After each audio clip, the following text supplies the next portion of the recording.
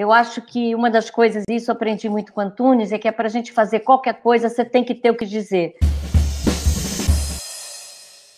Você precisa dizer aquilo. Quer dizer, eu não sou de fato uma diretora que escolhe um texto porque ele é bom ou porque aquilo, ah, que história boa para contar, olha isso, vai lá. Não, eu tenho que estar muito vinculada àquele conteúdo para que aquilo é, me me, me, me leve a, a, esse enfrentamento, que é esse diálogo que é o teatro. Então, nem sempre isso acontece, eu não tenho sempre o que dizer, tenho às vezes. E, mas também, Li, eu não sei como é que é para você, mas para mim é muito difícil, porque eu sou uma pessoa assim, eu odeio companhia de teatro. Para mim, acho companhia de teatro uma coisa extraordinária. Porque companhia sempre vai virando uma coisa meio homogênea, e eu gosto do diverso. Então, você já vai sabendo o que, que aqueles atores fazem, como é que aquilo vai se dar, aquele projeto vai. Então, eu prefiro sempre trabalhar com diverso.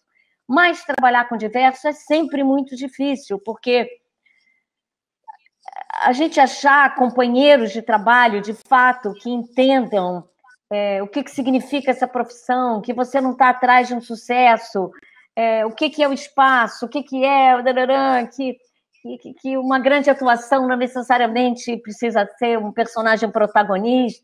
Então, é difícil de você conseguir é, parceiros, cúmplices, é, artístico. Isso eu acho uma coisa muito difícil.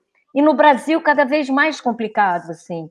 Eu ouso dizer uma coisa que eu acho que, é, sei lá, os artistas, em grande parte, viraram burgueses, assim, excessivamente é, ligados ao mercado, ligados a, a, essa indústria.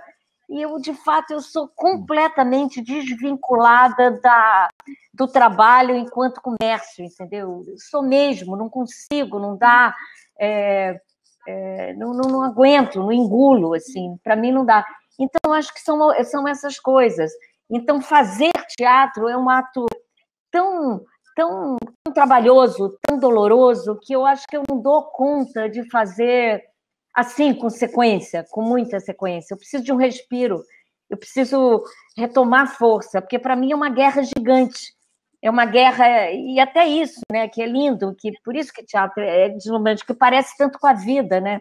É todo dia você tentar alcançar alguma coisa que é impossível de alcançar aquilo, né? Cada homem, um dia tem uma dor de barriga, nunca tem a perfeição. Então, é uma tentativa é, frustrada cotidianamente, absolutamente genial, é, de você poder estar tá cada vez se superar.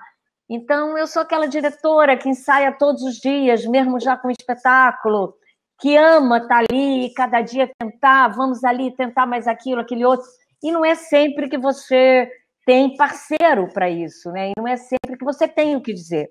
Então, por isso que eu, eu isso agora, por exemplo, é uma coisa que me preocupa, porque eu estou mais velha e eu fico pensando quantos mais, quais serão, é, mais dois, mais um.